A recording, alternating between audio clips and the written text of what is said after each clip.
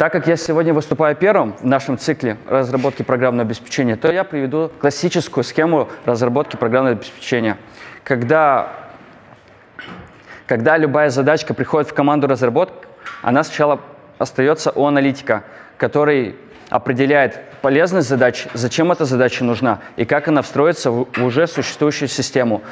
После того, как это он все определил, он передает сформулированную задачу проектировщику, который думает, как внедрить непосредственно то, ту задачу, которую написал аналитик непосредственно в продукт. После того, как проектировщик разработал решение, задачка передается непосредственно в стадию разработки разработчикам. Э, бэкэндерам и фронтендерам.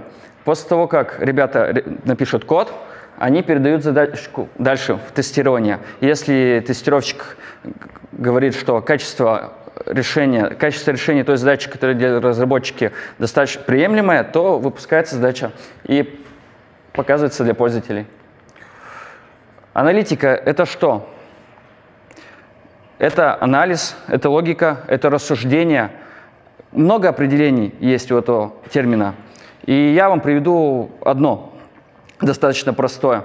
Аналитика – это способность собирать и использовать информацию, опираясь на факты. Зачем нужны аналитики? Понятно, что в проектах, где ребята собираются на выходные запилить какой-нибудь продукт и выпустить быстро, и перейти на следующие выходные к следующим, аналитики не нужны. Но в крупных компаниях, где есть программное обеспечение, которое написано и поддерживается несколько лет, у которого тысячи пользователей, за реализацию каждой отдельной новой фичи кто-то должен нести ответ, а насколько она соответствует тому, что уже сделано, как она встроится в уже существующее решение, будет ли она полезна или только отвлекать пользователя. И вот на эти вопросы как раз и отвечает аналитик. Для чего еще нужен аналитик? Общаться с заказчиками – Часто ты, когда разговариваешь с, с пользователем, который говорит, а сделайте мне вот это в вашей системе, а сделайте мне то, ты не понимаешь о, о том, о чем он говорит. И главная задача аналитика – это не просто спросить и узнать у такого пользователя, что же именно он хотел, а именно даже узнать у него то, что он сам еще не знает, когда, перед тем, как приходит к тебе. Есть даже э, классическая техника – базовая техника э, интервью с любым заказчиком «Пять почему». То есть просто спрашиваешь человека, вот он приходит тебе, поменяй кноп, кнопку желтой на синий, например. Ты спрашиваешь, зачем тебе надо? Он тебе что-то отвечает. Ты дальше и дальше, и тем самым раскапывая суть истины. И вот решение вот той суть истины, это именно является задачей аналитика. Зачем еще нужны аналитики? Вести документацию. Когда у вас есть большое приложение, которое пишется несколько лет, то, естественно, люди, которые будут его писать, будут приходить, уходить.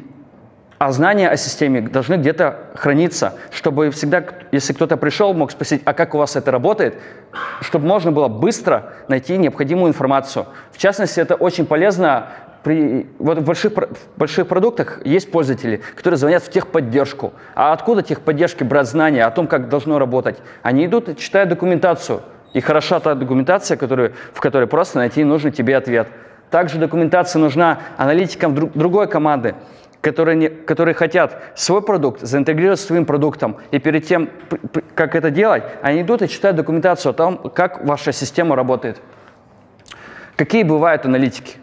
Аналитики бывают бизнес-аналитики и системные аналитики. В чем разница? Всего лишь две. Бизнес-аналитику не важно IT-образование. И бизнес-аналитику не важно работать непосредственно в команде разработки. Недавно я узнал, что, например, в контуре есть аналитик, который вот не имеет не техническое образование, а эколог по образованию. И я подумал, а как это вообще возможно? А вот есть проект, который занимается сдачей отчетности в Росприроднадзор. И там нужно знать про эти цифры, какие отходы существуют, какие циферки соответствуют загрязнению и так далее. И именно такой человек, обладающий большими знаниями в этой предметной области, очень хорошо подошел для роли системного аналитика в своей команде. Приведу пример бизнес-аналитика и бизнес-требования, которые он формулирует, на примере Почты России. Всем же приходилось получать э, из почтового отделения какую-нибудь посылку. Как это работает? Приходит на почтовое отделение, приходит посылка, ее обрабатывают, на основании нее пишется извещение, это извещение передается почтальону, который потом приносит к вам домой. Вы получаете, о, пора идти, идете и получаете посылку. Для вас это все просто. Вы просто ждете извещения, идете, забираете посылку. А как это выглядит с точки зрения этого бизнес-процесса? То есть им приходит, они должны обработать данную посылку, написать отдельное извещение, сообщить почтальону, передать его, заплатить деньги почтальону, чтобы он отнес вам. Это неудобно. И это место, которое можно оптимизировать. Какие есть варианты решения? Первый вариант – и не стоит его забывать, он часто подходит как в работе аналитика, так и в повседневной жизни. Забить и ничего не делать.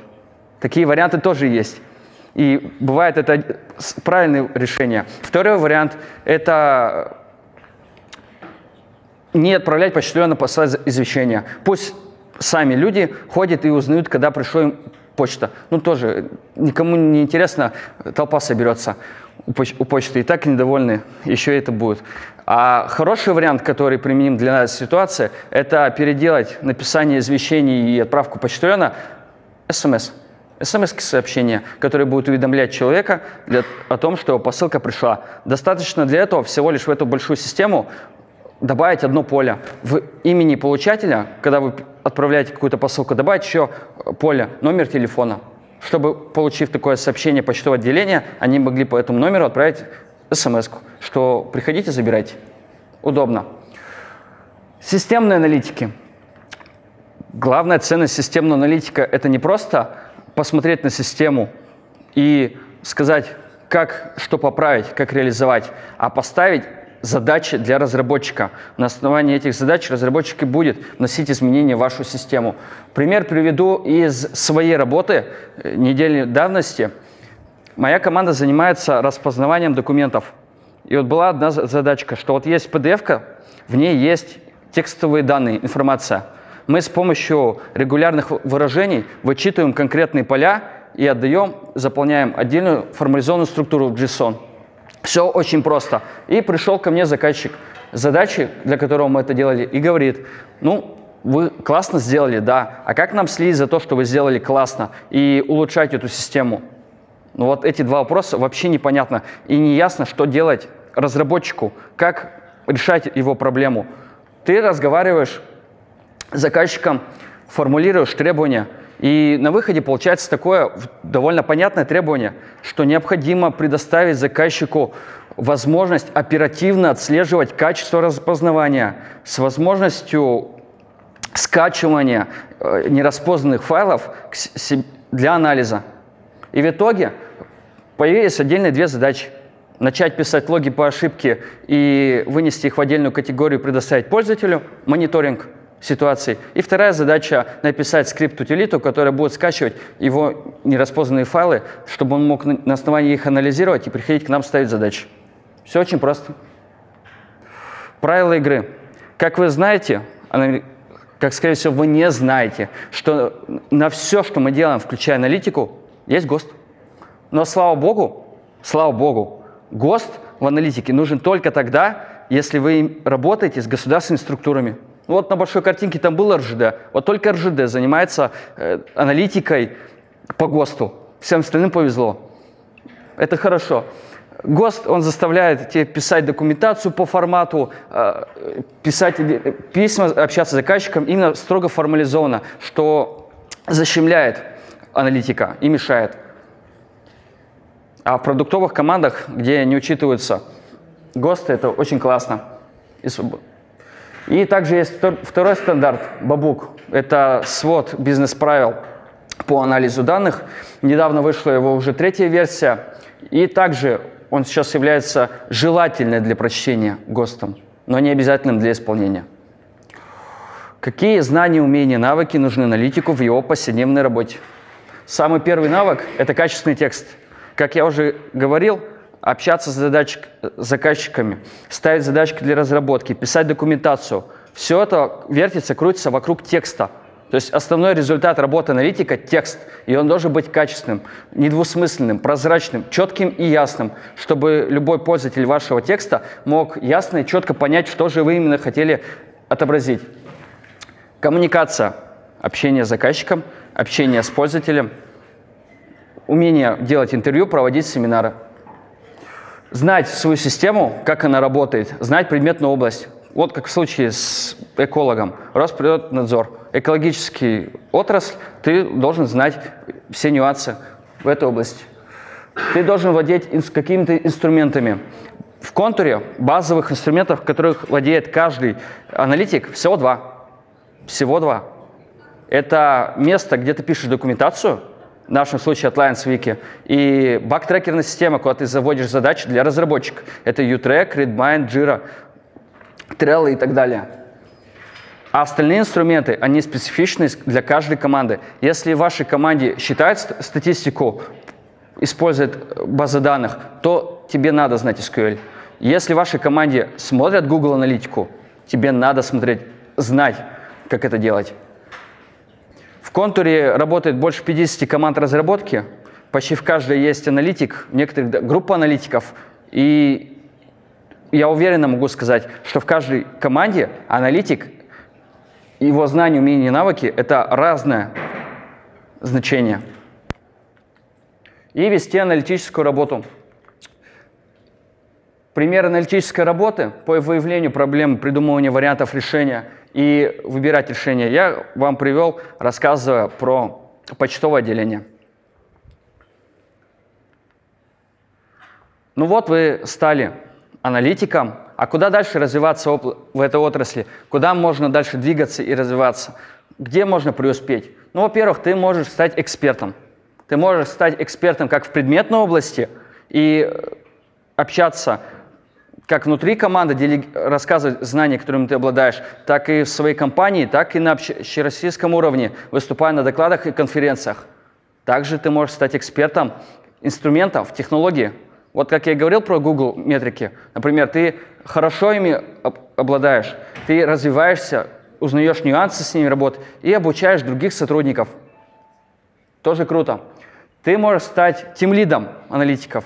Ты можешь обучать начинающих стажеров, доводить до их приемлемого уровня, делиться с ними своими знаниями, а можешь э, работать над общим улучшением уровня знаний вашей аналитической группы тоже делясь знаниями, прокачивая процессы разработки аналитики. И ты можешь стать менеджером разработки, возглавлять вообще всю группу разработки, включающую это проектировщиков, аналитиков, тестировщиков, разработчиков. И, и можешь углубиться в архитектуру стать разработчиком, знать, как работает система, изучать паттерны программирования и так далее. Для примера меня попросили описать мой рабочий день, из чего он состоит, в чем состоит работа аналитика. Вот Кратко, если звучит, то так, то каждый день, когда прихожу на работу, я открываю почту, смотрю вопросы, которые задает мне техподдержка, которая сама не смогла справиться, чтобы ответить пользователям, какие-то специфичные вопросы. Задают вопросы по сбору статистики, мне приходится использовать базы данных, чтобы ответить на необходимые им вопросы. Также проектировщики спрашивают о тех задачах, которые я им поставил, сформировав ее, и посмотрев на нее и решив, нужно ли его дорабатывать, или можно уже сказать, все готово и отдавать задачу в разработке. И также встречаюсь с заказчиками, которые просто приходят и говорят, а сделайте в, наш, в вашей системе вот такую-то штуку, которая будет нам полезна. Вот из всего вот этого множества состоит мой обычный рабочий день. Как можно стать аналитиком? К сожалению, на сегодняшний день закончить институт и пойти работать аналитиком нельзя. Аналитиков не берут без опыта работы. Поэтому можно перейти с другой профессии. Это мой путь, который я сделал. То есть сначала начал тестировщиком, два года перешел в аналитики. Либо в службу технической поддержки, ну, быть консультантом, отвечать пользователям на трубки. Эти две роли, они как раз позволят вам вникнуть в суть продукта, которым вы занимаетесь, погрузиться в предметную область и научиться базовым инструментам для вашей последующей работы. И второй вариант, который появился совсем недавно в контуре, уже последние два лета проходят летние стажировки в качестве летней практики. Суть в чем, что весной на Матмехе здесь проходят курсы аналитиков, на основании которых выбирают ребят, которым, которых приглашают на летнюю стажировку, они ее проходят и остаются. Если все хорошо, то они остаются в компании. Вот это сейчас реальные два способа стать аналитиком, студентом. Что, вот я много чего говорил, а где можно подробнее, что все это почитать? Три статьи на Хабре и список полезного всякого, на котором есть список докладов, список книг, список видео. А также я буду, можно мне задавать вопросы. В обеденный перерыв я тоже буду здесь, можно подходить, спрашивать о своих вопросах. Спасибо.